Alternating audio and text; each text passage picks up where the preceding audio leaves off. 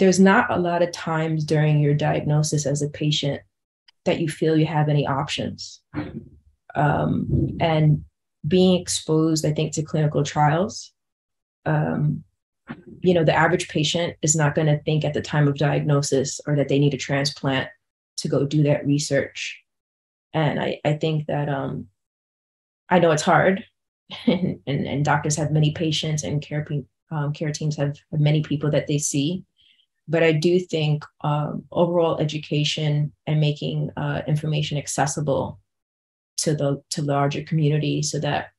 you know I can feel like I'm making an informed decision and I'm I'm I'm doing something that's going to work best for me, especially for people that,